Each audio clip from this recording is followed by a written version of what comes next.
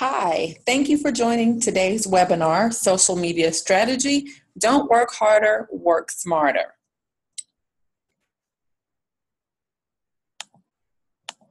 Who am I? Well, I'm Alexis Barton. I'm a digital strategist here at Infomedia. I also work as a copywriter and handle some social media management and have blogged for several years. So I have several years experience using uh, popular social media channels effectively and hope that you will learn some tips that you can take back and use yourself. If you are taking notes at home, you can find these slides on SlideShare. Let's get started. Raise your hand at home if you manage social media. It's pretty common today. Uh, it's a tool that most businesses and brands are using, uh, that they realize the importance of using in today's climate. And if you are about to begin, that's okay. These tips can be useful to you too. And if you are over managing social media, well, maybe you'll find some inspiration from the things we discuss in today's webinar. If you feel like you can't keep up, you are definitely not alone. It seems like to do it right, to be popular or effective on social media, that you have to be present 24 7. And who has time for that? I certainly don't. But you can create the illusion that you're you are posting all the time. You can definitely do that and do so in a way that makes sense for your business or brand. Today, we're going to talk about a few things that I've learned in managing social media, and maybe they will help you as you try to use it for your business, brand, or even your blog. We know we all need to use it, and maybe sometimes it's a little intimidating, but I want to reassure you that it is definitely not rocket science. It is supposed to be fun and spontaneous and not feel gross, right? Uh, but figuring out how to check those boxes can be a little bit overwhelming because you get all these different messages and instructions and guidelines and then the the algorithms change and kind of junk everything up. Uh, and so sometimes you can be a little bit uncertain. But i want to first tell you to re to adjust your expectations it's not necessarily easy to use social media, so perhaps we shouldn't expect it to be. There is a bit of a learning curve to it, and that's normal. Having a plan helps you simplify your approach. It can help you find your footing on social media, figure out what, works best for you, and get in the habit of doing it regularly. Authenticity and consistency are key. So when you make a plan, stick to it and make sure that your messaging embraces um, authenticity. What makes you you, whether that's your brand or your business or your blog. That will endear you to your fans and followers and potential clients. They'll get a sense of your sincerity from that what I want to tell you not to do is to compare yourself. Don't compare yourself to what this brand or that business with 30 million fans or 10 million followers is doing because you're seeing it from the outside. You don't know what links that person or that company has gone to get those followers, and you may not be willing to do those same things uh, for ethics reasons or whatever reason, budgetary reasons. So, don't compare yourself to what other people are doing. I try to find inspiration uh, from people who are successful already. I find patterns in what they do, and then I try to adapt those patterns for my own purposes. So, when it comes to social media, I know just enough to be dangerous, and even though I will never coach football, let's just say, I can definitely learn from our first person. Nick Saban, the coach of the University of Alabama's Crimson Tide, he calls it the process. We call it a strategy. So, how can you craft a winning formula that will work for your business or brand's needs on LinkedIn and Facebook or Twitter and Snapchat? What can you do to compete and win against so much noise from your competitors' content? Well, there are several things you can do. First of all, commit to that process or strategy. Determine the type of content that you can comfortably replicate uh, on a regular basis, whether that's weekly or monthly. And that may be sharing your expertise, uh, giving your clients a shout out, giving your staff a shout out, talking about your company culture. It may be any of those things, but come up with a well rounded content strategy and commit to it. Overcome adversity. Adversity is a major theme for Coach Saban. Better known in our world as algorithms, because every time an algorithm changes, you have to switch up what you're doing on a social media channel, more than likely. So fight that with consistency stick to the, that schedule of posts for when days when your staff is out of the office whether it's due to vacation or illness you're not stuck scrambling to get content put up because you've already planned ahead for those days. And even when you have to rush to meet a deadline you know that your social media is covered. Further you want to make sure what may hold you back in terms of your strategy or help you. Look at the plan of attack or look at your strategy and look at the analytics that you can measure once you have had several things post and had your fans or followers engage with it. The analytics tell you when p- people are responding or what they're responding to. And by observing and really studying your analytics, you can then make adjustments. So listen to your fans uh, when they show you what they want or what they don't necessarily want. And then go in and tweak your strategy. But again, don't let them rule your your playbook. You're the coach, you're the one in control of this game.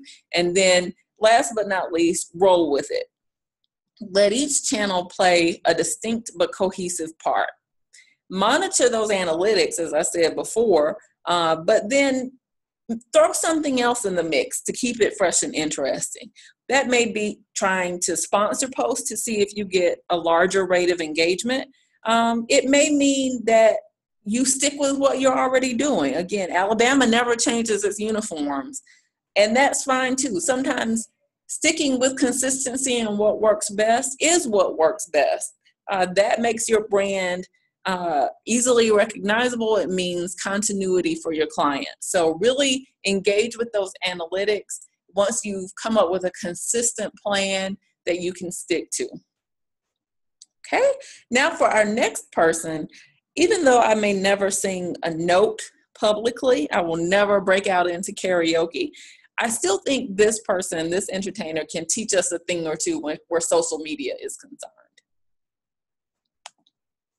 Beyonce has used an ever changing cast of group members to learn her craft and, and, become famous. And then, when she was comfortable, she stepped out solo into the spotlight. She's written the book on surprise releases that break the internet, and people hang on her every post on Instagram or her website. She manages to reveal things that are intimate without necessarily telling her audience anything super personal arguably effectively maintaining a semblance of privacy despite being one of the most well known or easily recognizable women in the world. For our purposes as social media strategists and managers, figuring out what to post or tweet doesn't have to be a chore. We can find organic inspiration to put our tweets and posts information, just like Beyonce does and we can find a way to strike the right balance in sharing information. Here's how we can do that. First, know when to go solo and when to utilize a team. You may have one social media star or manager on staff, but don't be afraid to involve other members of your staff where it's, where it makes sense and where it's appropriate. One person doesn't have to do it all alone cast out your net and see what's going on in IT, see what's going on in HR, see what's going on in sales, and let them come up with a little report or post or slideshow that tells their story and ultimately contributes to your brand or business's story as a whole. At the same time, you have to strike a balance and know when too many voices will dilute or slow down what you need to accomplish. Next, you want to stay true to your roots.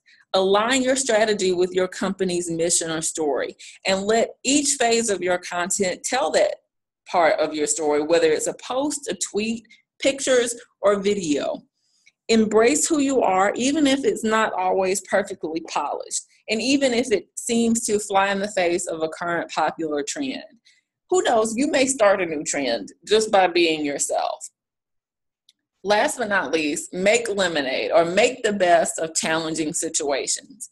If you're in a state right now of not knowing how to use Twitter, not knowing how to use Facebook Live, or not knowing how to use Snapchat, this is a, a powerful place because it's an opportunity to learn those new skills and develop great new habits instead of having to correct old ones.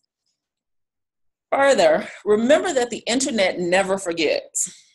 So be careful about who you allow to implement your strategy and make sure that it is, again, in a, a, aligned with your company's mission and story and does not post anything that is negative or damaging to your company.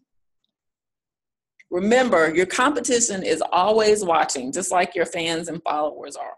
So don't give them an edge or an advantage on you. Now, for our last source of inspiration, I object sometimes to some of this person's methods, but ultimately, I respect her relentlessness. Kim Kardashian. Kim Kardashian West is known for contouring and highlighting her makeup to show the best face possible to the public. She's a master of spin when it comes to messaging and of maintaining or maybe even manipulating the public's attention during some very public crises. She's also known for product placement. So for for us as social media managers and strategists, how can we show off our brand or company's best side and how can we own or break our corner of the internet? And where do you draw the line? How much is too much? Well, first, monetize your assets. Use social media to highlight what you do well to current clients, and you'll draw potential clients that much closer. Share your expertise appropriately, but don't make every interaction a veiled attempt at well begging for attention. If you're offering a class or a webinar, make sure the content is valuable. And don't be afraid to give away something for free, whether that is expertise at a casual lunch and learn, whether it is slides from a webinar, whether it is some advice in a blog post. Your clients will appreciate that and it will endear you to them and may even draw in some new clients and prospects for you. Remember, almost everything is copy. On Keeping Up with the Kardashians, we see every phase of life that the Kardashian family wants us to see. Well, for your purpose at your company or your brand, think holistically when it comes to your content. Whether that is a staff member or a whole department or your leadership taking over social media for a day to interact with your clients and fans and followers and prospects, uh, maybe it means you go behind the scenes and show people up close and personal what it is you do and how it is that you do it. But think critically about how to show what you do and how you do it in a way that sets you apart. And at the same time, make sure you have a formal or informal plan in place to review your content themes and plans with your leadership just to make sure you aren't sharing information that is proprietary or that may somehow cast your company or your brand in a bad light with your audience. Last but not least, know when you are you are inching toward overexposure. Post regularly and use scheduling to your advantage, but that doesn't mean it needs to be around the clock. If you flood timelines with what people see as propaganda or shameless publicity, you'll ultimately alienate people. So, in, examine your analytics to determine when your posts or tweets receive the most engagement and schedule them to post at those times. Last but not least, don't copy. Just don't copy. The internet has a long memory. It knows when you plagiarize, it knows when you try too hard. Um, and so, above all, following your mom's advice is probably your best bet. Be yourself. That's what will ultimately make you stand out on the internet, making the most of what makes you unique, not how well you are able to copy or parrot what other people are doing. So work hard to develop your own authentic voice and be pers- and your own authentic perspective. Be realistic about what it is that you can accomplish and the time frame you have to accomplish it in so that you're not setting goals you have no hope of reaching at any point. Be consistent. This continuity shows your clients and prospects that you can be relied upon, and that's something that people are looking for uh, in, in a business relationship. And last but not least, be patient because developing an audience and developing relationships based on uh, your social media presence takes time it takes effort and you have to be patient because the results are may not and typically won't happen overnight but with constant attention authenticity um, a realistic plan and a consistent implementation of that plan you can find some success on the internet as I wrap up today's webinar, I want you to remember that you don't have to figure this out by yourself. You definitely don't. There are channels out there that are available to you. We're definitely one of them, so be sure to reach out to us at Infomedia. Uh, you can call us, you can email us, you can check out our website, infomedia.com, for free resources at any time. Uh, you can also join us at one of our upcoming lunch and learns these are opportunities for us to share our expertise uh, this month and this year with you. And we look forward to doing that as well as networking and finding out sort of the things that you need and, and may find useful. And you can network with other businesses who are in the same boat and, and share kind of your perspective as well. Thank you for joining us today for today's social media strategy webinar.